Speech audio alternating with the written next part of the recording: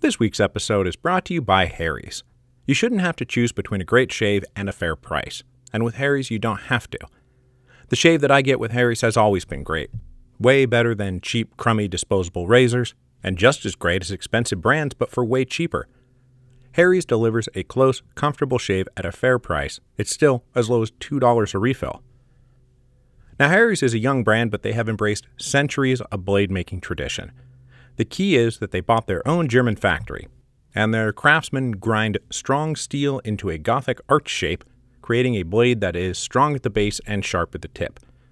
So there's no gimmicks or unnecessary features, it's just a smart, simple shave designed for delivering a close, comfortable shave. Harry's is giving their best offer to Revolutions listeners. New Harry's customers can get a starter set at harrys.com/revolutions. You'll get a five-blade razor, a weighted ergonomic handle, a foaming shave gel, and a travel cover. A $13 value for just 3 bucks. There's never been a better time to try Harry's. Go to harrys.com slash revolutions to redeem your offer today.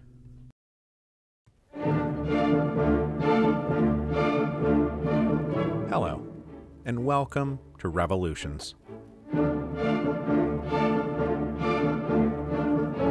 Episode 10.63 Abdication. Last week, we discussed the events of International Women's Day, which was Thursday, February 23, 1917, when the women of Petrograd refused to sit back and wait any longer to be heard. They were sick of being ignored while their families starved and froze to death. They refused to take orders from their male counterparts who urged them to not make any waves and to be patient and bide their time but their patience was all gone. The incompetence and corruption and myopic cruelty of the Tsarist regime had boiled them right over. And so they marched out into the streets, forcing the men to come out with them to demand bread, peace, and the overthrow of the Tsar. And this began one of the most fateful weeks in Russian history. The mass demonstrations the women kicked off on February 23rd continued into the weekend. Crowds and demonstrators paraded through the streets of Petrograd, and by Saturday, February 25th, a de facto general strike had ground nearly all non protest related activity to a halt. Industry shut down, and the transportation networks inside the city, that is, railroads and trolley cars and cabs, all stopped running. There were probably at any given time 200 to 250,000 people out there in the streets. Their demands had moved decisively beyond mere economic and social relief. They were now overtly political overtly rebellious, and overtly revolutionary. The cries and banners were all down with autocracy, down with the war, and specifically, down with the German woman. Now, the German woman herself, and we're talking here of Empress Alexandra, was as disgusted with the people of Petrograd as they were with her. Describing the protest, she said, This is a hooligan movement. Young people run and shout that there is no bread simply to create excitement, along with workers who prevent others from working. If the weather was very cold, they would probably all stay home. Now, she probably wasn't wrong about that last bit, but to believe that all of this was simply the result of unscrupulous agitators making things up, that it was just people running around and shouting no bread simply to create excitement as if there wasn't literally no bread, well, that just speaks to her insanely distorted view from the imperial bubble, a bubble that is just days away from being shattered forever.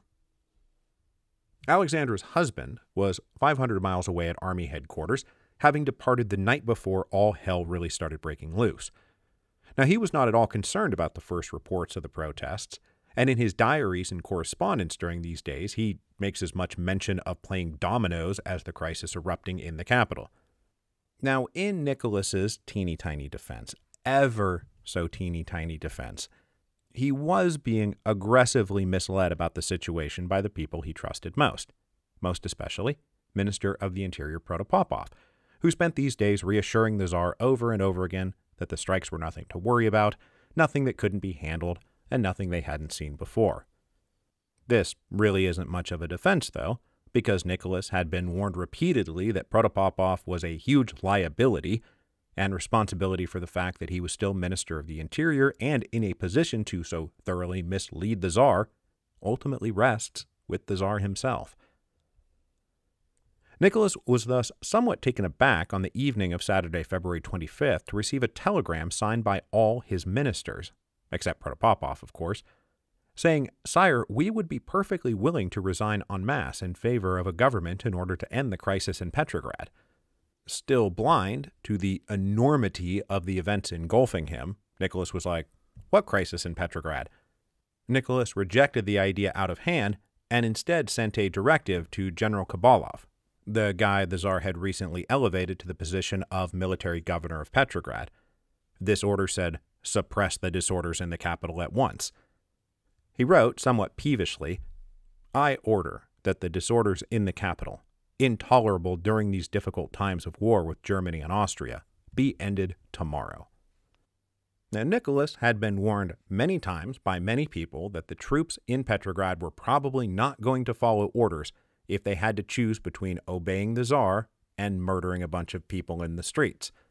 But as with Protopopov, Nicholas continued to listen to his heart rather than all the brains that were surrounding him, and he knew in his heart that the army was with him. At that moment, the Petrograd garrison, who Nicholas believed would surely quell the unrest by tomorrow night, numbered about a 160,000. This was more than enough in the Tsar's estimation. But as we discussed a few episodes back, morale and discipline in the Russian army over the winter of 1916 1917 was cracking up, and the Petrograd garrison was cracking harder than anyone. Most of them were deeply unhappy to be in the army at all. They resented their conscription. The majority were, in fact, raw recruits who were only supposed to be in Petrograd for a few weeks to get basic training before being shipped off to the front in the spring. They were hardly soldiers at all. Mostly, they were peasants who had recently been shoved into a uniform and handed a gun. They were quite the motley concoction of inexperience, lack of discipline, and seething anger. They were also crammed into barracks that were only meant to hold 20,000 soldiers and which now bulged with an impossibly uncomfortable 160,000 soldiers. To say that they sympathized with the protesters out in the street would be a massive understatement. General Khabalov, for his part, was aware the men were not exactly reliable, but he followed the Tsar's orders, and on the morning of Sunday, February 26th, signs went up all over the city saying that meetings, assemblies, demonstrations, marches, and strikes were strictly forbidden violation of this order would result in being shot on sight by soldiers. There was also signs that said the following day everybody was expected to go back to work, and any worker not found on the job would be conscripted into the army and sent to the front lines at once. Then, army regiments, police squads, and companies of Cossacks fanned out to occupy the city. Now, the people of Petrograd just straight up ignored these orders. They were riding high and they felt that momentum was with them. And so, on this Sunday, they came out. And as the two sides met out in the streets, there were skirmishes and gunshots, a few lobbed grenades, and people wounded and killed on both sides. The most dramatic incident was when an angry officer became enraged when his raw recruits refused to fire into a crowd, and he started personally blasting away indiscriminately with a rifle until his men followed his lead, and they all killed about 50 people. Word of this incident outraged public opinion, including many soldiers, who started resolving individually and then collectively to prevent any further use of violence against the people of Petrograd. Back at Army headquarters, the Tsar received a few updates on what was happening in the city, including an urgent telegram from Chairman of the Duma, Mikhail Rodzianko. His telegram read Serious situation. In the capital, anarchy. Government paralyzed transport of food and fuel completely disorganized, public disaffection growing. On the streets, chaotic shooting. Army units fired on each other. It is essential at once to entrust a person enjoying the country's confidence with the formation of a new government. There should be no delay. All delay is death. Nicholas read this telegram with disbelief and became convinced the political opposition was exaggerating to manipulate him into making concessions he didn't really have to make. And he remarked to the Army Chief of Staff, That fat Rodzianko has sent me some nonsense which I shall not even bother to answer. But that wasn't really true. He did answer the telegram. He sent an order back to Petrograd dissolving the Duma until April. This was an order the leaders of the Duma would wake up to on the morning of Monday, February 27, 1917. Monday, February 27, 1917, is the second capital B, capital D, big day of the February Revolution. Now, the first was obviously International Women's Day, when the women broke open the floodgates of popular unrest. Well, today, events hinge on the soldiers in Petrograd. And those soldiers will turn the tide of Russian history by not only refusing to suppress the disorder in the capital, but by going into mutiny and by marching out into the streets to join the revolution already in progress. Many of the soldiers stayed up all night in their barracks after the events of Sunday, and by morning, at least one regiment had decided that come the dawn, they were quitting the garrison and marching out into the streets.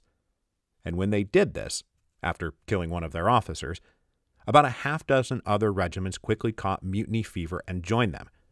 They all headed first for the working class districts where they linked up with the already rebellious population. And they started erecting barricades and making plans to seize key points in the city and also gather as many guns and rifles as they could find and as much ammunition as they could carry. By noon, large crowds were moving towards the center of the city, aided and protected by the soldiers. And there are now about 25,000 or so in active mutinous rebellion. They looted and ransacked various government buildings, including the Ministry of the Interior and the headquarters of the Okhrana. They forced their way into the Peter and Paul fortress taking possession of the cache of weapons and the artillery batteries inside the fortress, and freeing any prisoners they found.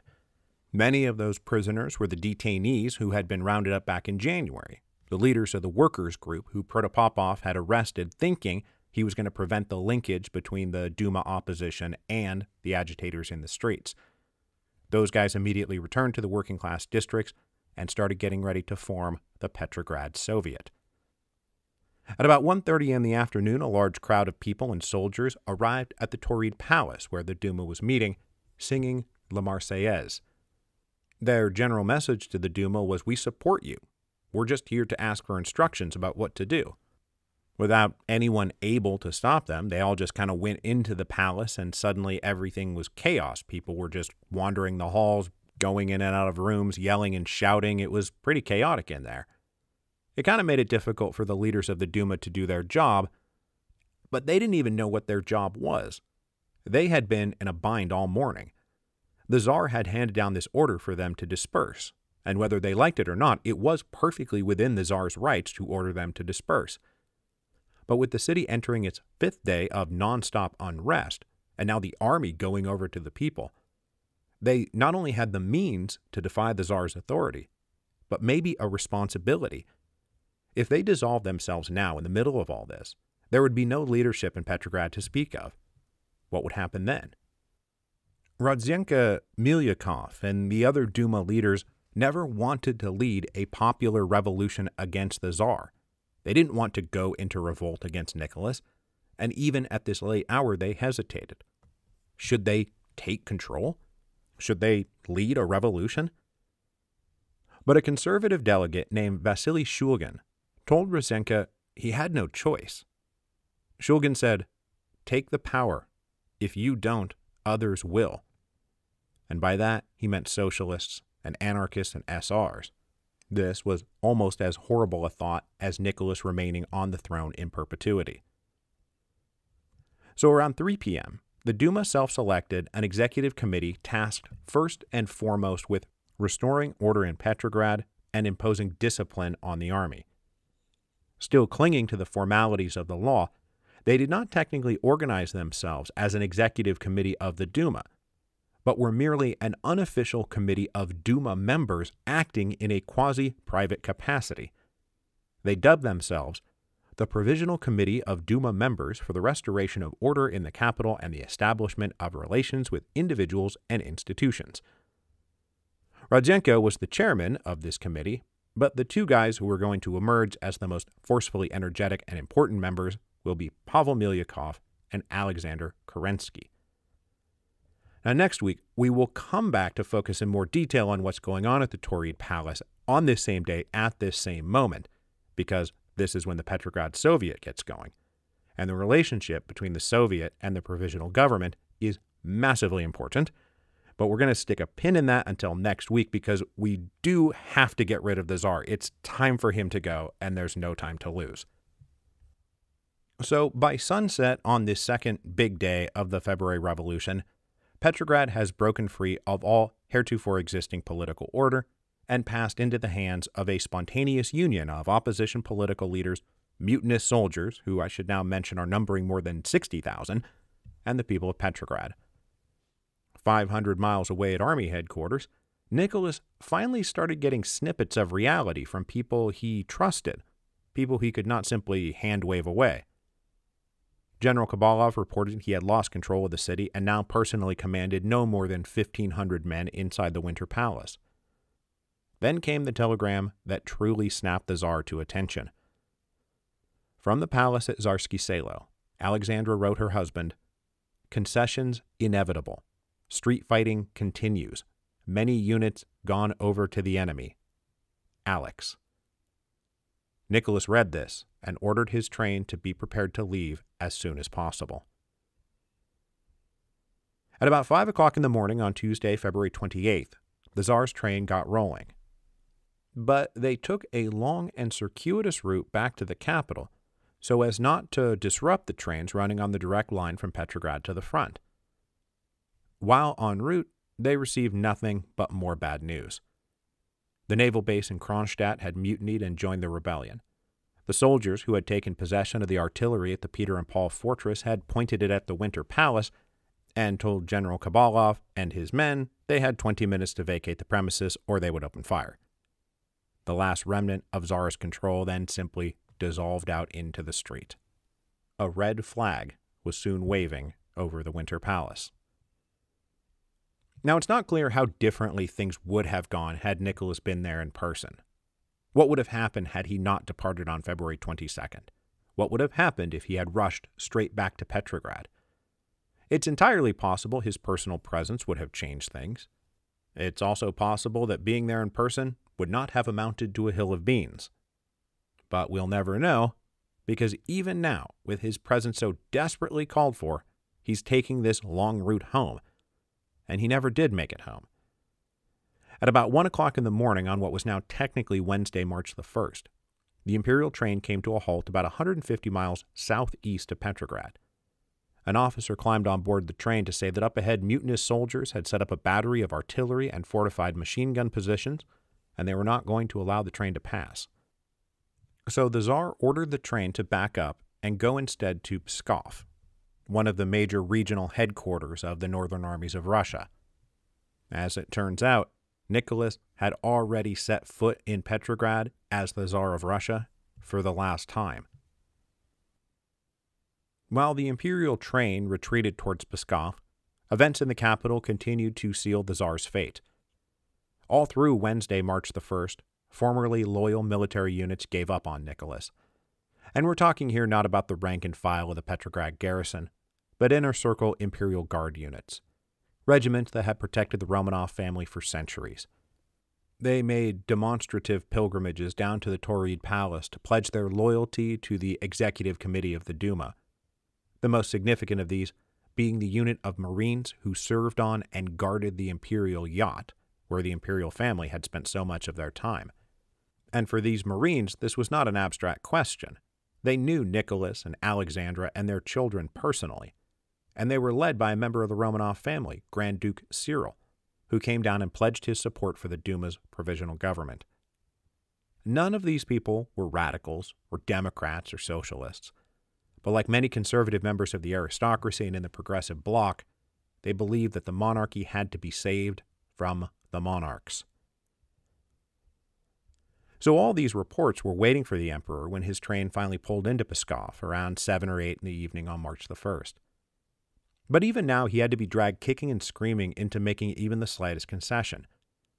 And given all that we've talked about over the past few episodes about the disastrously unqualified and incompetent people he and his wife had been appointing to key positions in the government, just listen to the reason Nicholas gives for not wanting to hand power over to a government picked by the Duma. and I am quoting now from an eyewitness who was there.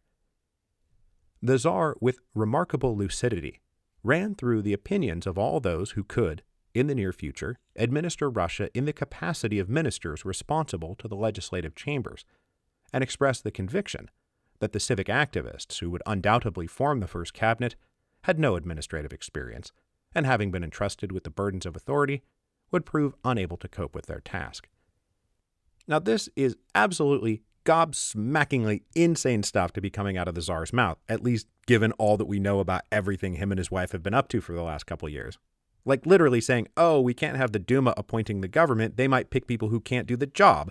What do you think has been going on for the last like three years? Why do you think you're in this mess? All you do is appoint people who can't do the job. That's why the job didn't get done. I'm so ready to be done with this guy. Now, Nicholas did start to get turned around a little bit because he listened to that great font of wisdom, Alexandra.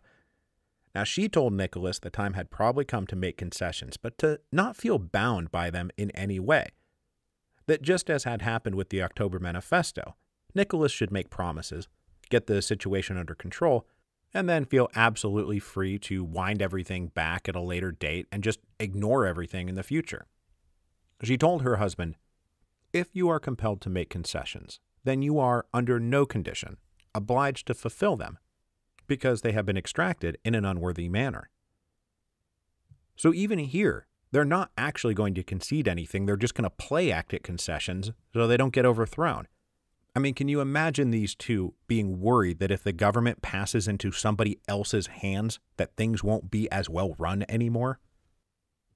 So, on the evening of March 1st, Nicholas finally gave in and transmitted a message to Petrograd saying he was ready to accept a government appointed by the Duma. But as we have seen, oh, about a hundred times on the Revolutions podcast, concessions that might have worked a few months ago, a few weeks ago, hell, in this case, a few days ago, were not now enough. The capital wasn't going to be satisfied by news that there would be a new government.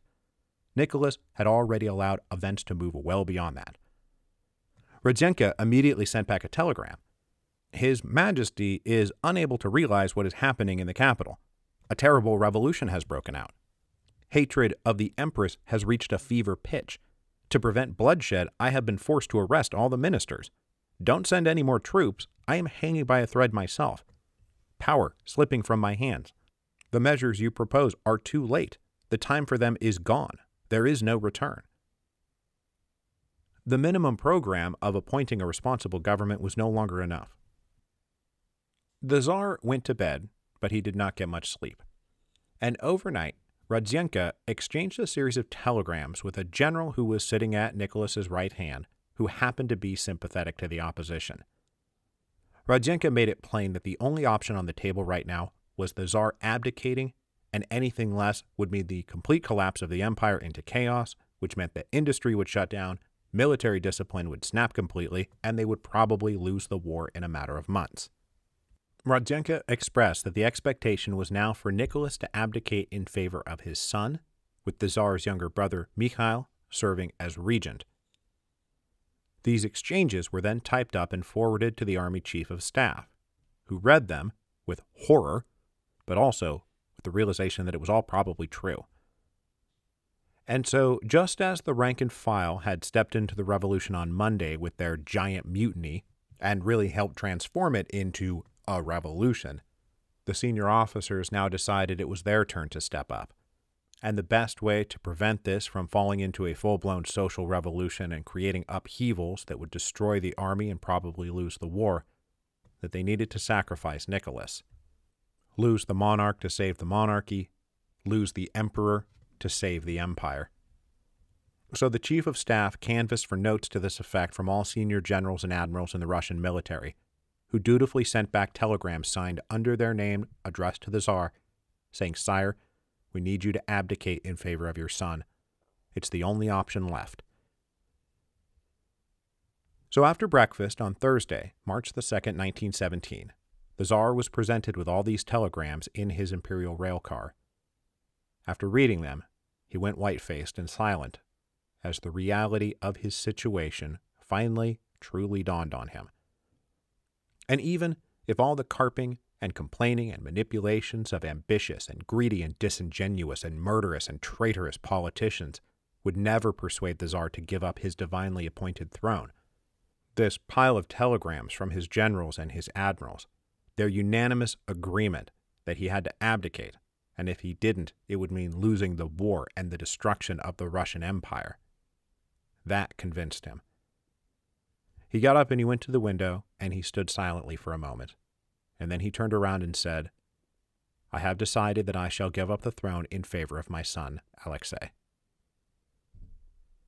At three o'clock in the afternoon on March the 2nd, an abdication declaration to this effect was drawn up and Nicholas signed it. But then they were told that two representatives of the Duma were on their way. One was Alexander Guchkov, one of the main organizers of the Progressive Bloc, and the other was that conservative monarchist I just mentioned, Vasily Shulgin, both were coming to personally witness the abdication and then carry it back to Petrograd so that there would be no disputing its legitimacy, especially as Shulgin would be able to vouch for its authenticity as a well known conservative monarchist, not some frothing democratic radical. But as these two would not arrive for several hours, the Tsar and his aides sat around and waited. As they did, Nicholas began to reconsider what he was doing. Not the abdication, but whether or not he could or should pass the throne to 12 year old Alexei. His poor hemophiliac son was constantly one accident away from painful death. He was so young and so fragile. And now Nicholas considered what it meant to place the almost intolerably complicated burden of ruling the Russian Empire on his shoulders, a burden which had just crushed Nicholas himself.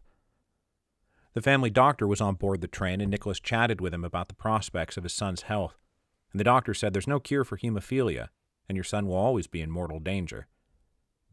Then the doctor said, Please also consider that your abdication will almost certainly mean you and Alexandra will have to go into exile, and there is absolutely no way that anybody is going to let you take young Alexei with you. He will be czar. He will remain in Russia. Now, sure, he'll be left in the care of Mikhail and other minders, but also by people who will not love him and care for him the way you do. The family had, after all, kept the hemophilia well hidden. Most people didn't even know the Tsarevich was sick. Nicholas considered all this and decided he could not bear this as a parent, leaving his poor son behind to probably die miserably without being able to be there or to comfort him. It was intolerable. So by the time Guchkov and Shulgin arrived at the train station at Pskov around 9 or 10 o'clock that night, they walked into the Imperial train car and Nicholas said, I have decided to abdicate but I've changed my mind a little bit. I'm not going to abdicate in favor of my son. I am going to remove him from the line of succession and instead hand power directly to my brother Mikhail. Neither Guchkov nor Shulgin liked this idea. Both of them had been kind of hopeful that an innocent and angelic looking 12 year old czar would help calm temperatures, maybe turn the people of Russia back into loving and supporting their czar rather than hating and despising him. But Nicholas would not be moved. So they redrafted the order of abdication. Nicholas would now hand power directly to Grand Duke Mikhail. They set the timestamp on this abdication to 3 p.m. so that it did not look like Nicholas was only signing this after the arrival of the two Duma delegates, that he had done everything of his own free will before they arrived. He then signed two further orders one appointing Prince Lvov, the leader of the Zemstva Congress, as the premier of a new ministry to be chosen by the Duma, and another appointing Grand Duke Nicholas commander in chief of all the armed forces of Russia. Both of these orders were dated 2 p.m. because technically by the time he signed them, Nicholas Romanov was no longer the Tsar of Russia. His final letter of abdication was addressed not to the Duma or to the people of Russia, but to the Chief of Staff of the Imperial Army.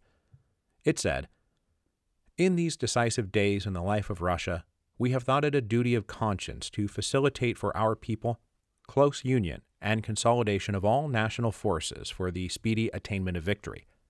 And, in agreement with the Imperial Duma, we have thought it good to abdicate from the throne of the Russian state and to lay down the supreme power. In the name of our dearly loved country, we call on all faithful sons of the fatherland to fulfill their sacred duty to him by obedience to the Tsar at a heavy moment of national trials, to help him together with the representatives of the people, to bring the Russian state on the road of victory, prosperity, and glory. May the Lord God help Russia. And with that, Nicholas Romanov ceased to be Tsar. This abdication has been a long time coming for dear Nicky. It didn't have to be this way. Uh, it's about a million miles from inevitable, and I'm reminded of the old parable of the devout Christian who was caught in a flood. The news report recommended evacuation, but he said, God will save me. As the waters rose, a neighbor offered to drive him to safety. The man said, No, God will save me. When the flood drove the man to his roof, a helicopter came by and dropped a ladder, but the man shouted, God will save me. And then he drowned. When he got to heaven, he asked God, Why didn't you save me? And an exasperated God said, What are you talking about? I sent an evacuation order, a driver, and a helicopter. That is the fate of Nicholas in a nutshell. He had been told a hundred different ways from a hundred different angles the simple things he needed to do to keep his crown, to keep his family intact, to keep the empire going, to win the war. And he chose to do none of them. He lacked imagination, he lacked vision, and he had ultimately led his empire to the brink of destruction. It was time for him to go. In his personal diary that night, he recorded an entry that was far less magnanimous and patriotic than what he wrote in his abdication letter. He wrote, For the sake of Russia and to keep the armies in the field, I decided to take this step. Left Pskov at one in the morning. All around me, I see treason, cowardice, and defeat and one can only say to Nicholas, Yes, and it's mostly your fault. So that's it for Nicholas. That's it for dear Nicky. We are now going to leave him behind. Russia is going to move on without him. But before we go this week, I want to say that we are three weeks away from the publication A Hero of Two Worlds. And I want to tell everybody that seats are going fast for the four pub week events that I will be doing. August 20 with Jamelle Bouie, August 23rd with Ben Rhodes, August 24th with Alexis Coe, and August 31st with Patrick Wyman. I'm looking forward to each of those, each for their own reason. And so I hope to see you there, and I hope everyone has a good time when you come. So, again, three weeks left until Hero of Two Worlds publishes. If you haven't pre ordered the book, please pre order the book. If you have pre ordered the book, thank you very much for pre ordering the book. Uh, go out to your local independent bookseller and get it. And if you don't pre order it, by all means, just go on August 24th and buy it in person. That'll be cool too. So until then, I'll see you next week for the beginning of the power struggle between the Petrograd Soviet and the provisional government.